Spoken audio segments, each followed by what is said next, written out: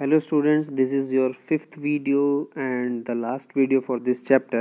इसमें आप लोगों को पता चल जाएगा कि स्टोरी के एंडिंग में क्या होता है किंग को आंसर्स हरमिट से मिलते हैं कि नहीं मिलते हैं।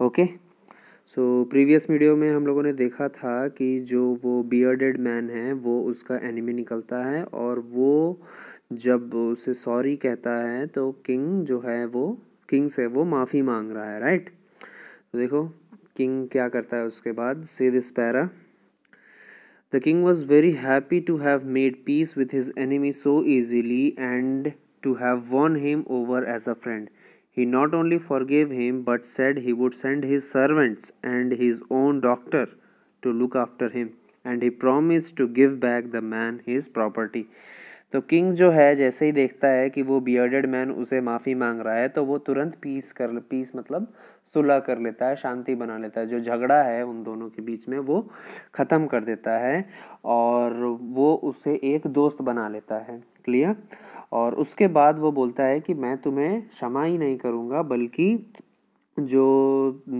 तुम्हारा जो घाव है, उसे ठीक करने के लिए मैं अपने डॉक्टर्स भेजूँगा और अपने नौकर भेजूँगा, जो तुम्हारी पूरी देखभाल करेंगे। और इतना ही नहीं, मैं तुम्हारी जो प्रॉपर्टी जो मैंने हड़पी हुई है, मैं उसे भी तुम्हें रिटर्न करता हूँ ओके सो नेक्स्ट पैरा देखो, इसके बाद leaving the wounded man the king went out of the hut and looked around for the hermit before going away he wished once more to get answers to his questions ठीक है? तो इतना कहते हुए वो उसको अंदर ही छोड़ के बाहर निकलता है और बाहर किस ले जाता है? उसे आंसर्स चाहिए हरमिट से, ठीक है? पिछले रात वो थकान के मारे सो गया था। अब आज सुबह हुई है तो वो हर, उसे आंसर्स फिर से माँगता है वो जाके। तो उसे जा रहा है हरमिट के पास जा रहा है उसे खोजने आंसर्स के लिए। Clear the hermit was on his knees serving seeds in the beds that had been dug day before the king went up to the hermit and said for the last time I beg you to answer my question wise man ठीक है?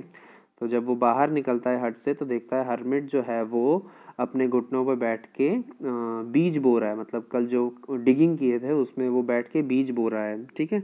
और वो king जाके कहता है कि last time मैं तुमसे भीख मांग रहा हूँ कि क्या तुम मेरे थ्री क्वेश्चंस के आंसर दे सकते हो?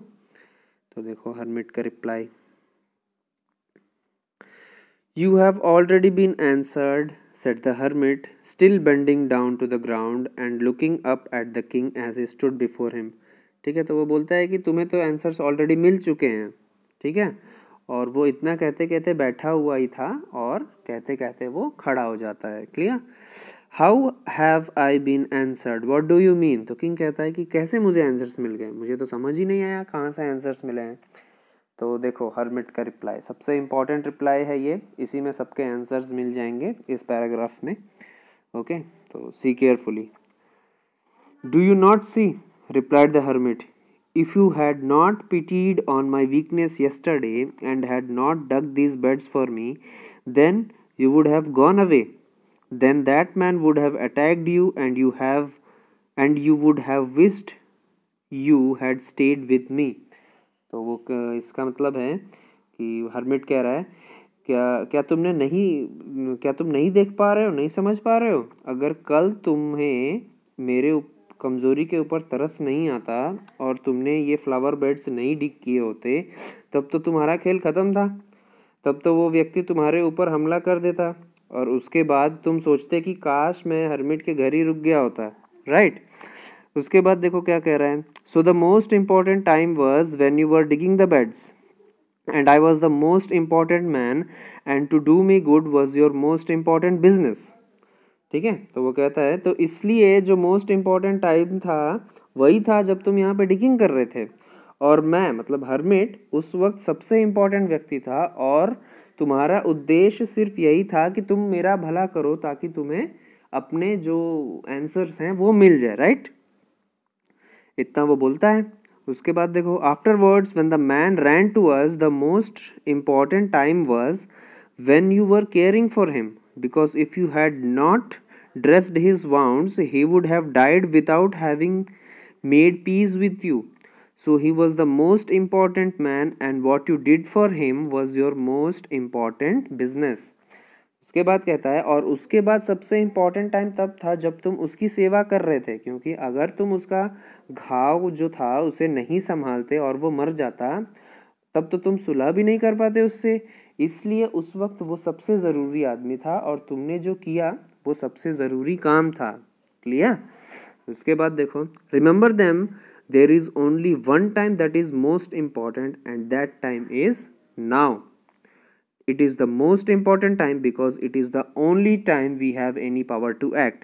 तो इतना कहने के बाद वो हरमिट फिर से अपने आंसर को क्लैरिफाई करता है कि सबसे इंपॉर्टेंट टाइम जो होता है, वो नाउ है। मतलब अभी जो तुम्हारे सामने, जो तुम्हारे वर्तमान में जो चल रहा है, वो सबसे ज़रूरी टाइम है। क्योंकि यही वो टाइम है जिस समय तुम अपनी पूरी शक्ति का इस्तेमाल कर सकते हो। पूरा अपना जो बल है, अपना जो दिमाग है, जितना सीखे हो बचपन से, उसको पूरा इसी टाइम में लगा सकते हो। तो सबसे इंपॉर्टेंट टाइम नाउ है मतलब present okay last paragraph of the story देखो।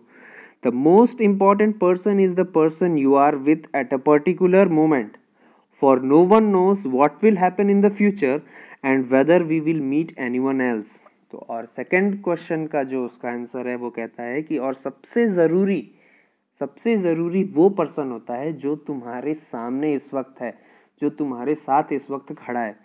और उसका भला करना सबसे अच्छा होगा, क्योंकि तुम्हें नहीं पता है कि फ्यूचर में क्या होने वाला है। क्लियर जैसे कि तुम्हें नहीं पता था कि फ्यूचर में वो जो, जिसे चोट लगाए बियर्डेड मैन को, वो तुम्हारा क्या लगता है, या तुम्हें कुछ भी नहीं पता था। उस वक्त जो तुमने किया, वो सबसे सही था उसके साथ, और वो सबसे इम्पोर्टेंट पर्सन वही था। क्लियर तो यही वो सेकंड क्वेश्चन का आंसर देता है कि तुम्हें नहीं पता कि फ्यूचर में क्या होने वाला है उस व्यक्ति को, या तुम्हें। तो सबसे इंपॉर्टेंट पर्सन वही होता है जो इस वक्त तुम्हारे सामने, तुम्हारे पास खड़ा है। The most important business is to do that person good because we were sent into this world for that purpose alone और सबसे इंपॉर्टेंट काम वही होता है जब तुम अपने पास जो व्यक्ति खड़ा है, उसका जो, जब तुम भला करोगे। और इसीलिए तुम संसार में आए हो, ताकि तुम अपना भला तो करो ही और संग संग जो तुम्हारे साथ जितने लोग हैं, उनका भी भला करो। तुम एक राजा हो तो तुम अपने भले के साथ साथ प्रजा की भी भला करोगे। वही सबसे तुम्हारा इंपॉर्टेंट बिज़नेस होना चाहिए। So the chapter is complete author का नाम देखो लियो टॉल्स्टॉय ठीक है? रीटोल्ड रीटोल्ड का मतलब ये होता है कि जो ये स्टोरी है, वो फिर से कही गई है। मतलब फिर से इसमें एडिटिंग कुछ की गई है okay some lines and some dialogues are edited इसीलिए यहाँ पे रीटोल्ड लिखा हुआ है। So your chapter is complete okay? Thank you class